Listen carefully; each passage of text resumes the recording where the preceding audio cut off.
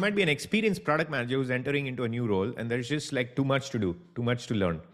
So my approach in those situations is first you want to align with your new manager what his or her expectations are for you in the first 30 days. Most managers will say, "Oh, we don't expect anything of you. Just spend time learning, etc." Which is good. So you can say, "Great, yes, I will spend time learning.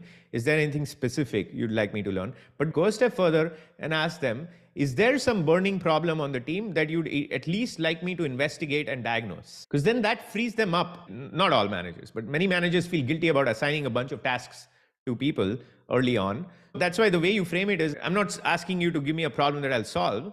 I'm just asking you, what is the burning issue that I can at least diagnose and share with you or share with the team? So that's when you start hearing, oh, actually, yes, you know, there's this kind of indecision around this particular feature, whether it should be a native feature or a web feature. Can we figure that out? You don't have all the context, but can you look into it? So you say, yes, I'm going to look into it. You want to collect such items from your engineering counterpart, from your design counterpart, the people you're working closely with, and your manager. So that's the work you should aim to do in your first 30 days, maybe two or three of these things.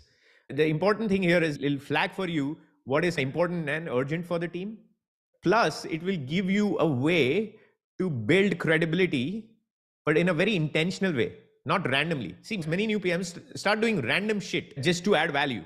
So, an example is a PM will come in and say, Hey, team, Great to be on the team. You know what? I spent the last four days to aggregate user feedback from this place, whatever. And here's a bunch of uh, user asks, and uh, it'll be great if you can review it and provide feedback.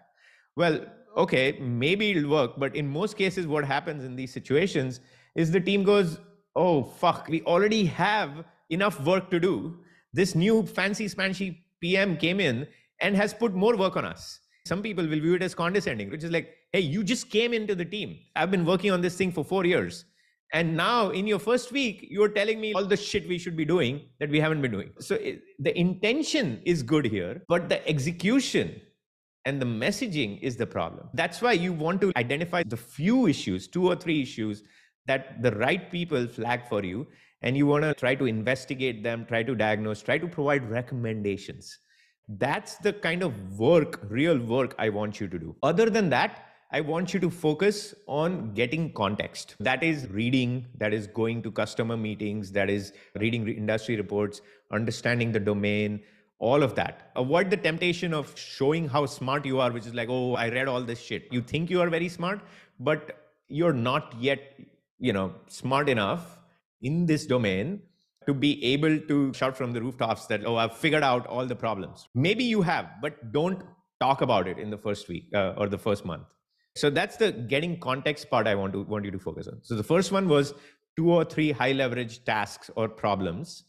The second one is getting context, which is very important. The third one I want you to focus on is building relationships. The way you build relationships is standard ways you do one on ones, obviously in your first few one-on-ones, don't assign action items. See, PMs have this bad habit of assigning action items everywhere they go. Don't assign action items to people in your first few meetings. Try to understand what they care most deeply about. What are the problems that they are seeing? What are the problems that they want to solve? If it's a legal counterpart or a compliance counterpart or a privacy counterpart or whatever else. What are the problems that you are seeing that I should pay attention to? What can I learn from you? What has been tried before that hasn't worked? What kind of working style do you prefer? In that conversation, I want you to also share, without bragging, how you empathize with them and how you understand how engineering works if you're talking to an engineering counterpart, how you understand how design works. Because that's a subtle way of building credibility with people without bragging or giving them action items. So those are the three things the, the high leverage focus tasks being number one. Second is getting context. And third is building relationships. That's what I want you to focus on in the first 30 days.